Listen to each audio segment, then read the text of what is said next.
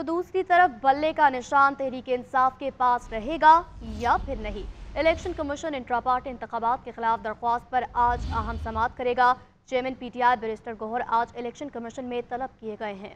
PTI के chief election commissioner Niazullah Niazi, party general secretary Umar Ayub, Yasmin Rashid Ali, Amin Gandapur समेत नौ अहदेदारान को भी notice जारी कर दिए गए हैं। आपको बताएँगे इंट्रा पार्टी इलेक्शन के खिलाफ दरख्वास्तें दायर कर रखी थी। गुजशत रोज़ इलेक्शन कमीशन ने पीटीए का जवाब गैर तसली बख्श करार देते हुए वजाहत के लिए एक और नोटिस जारी किया था।